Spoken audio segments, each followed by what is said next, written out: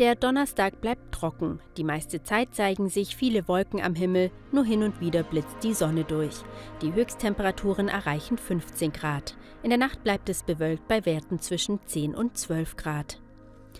Am Freitag und am Samstag wird es regnerisch. Die Temperaturen bleiben aber mild und liegen bei 20 Grad.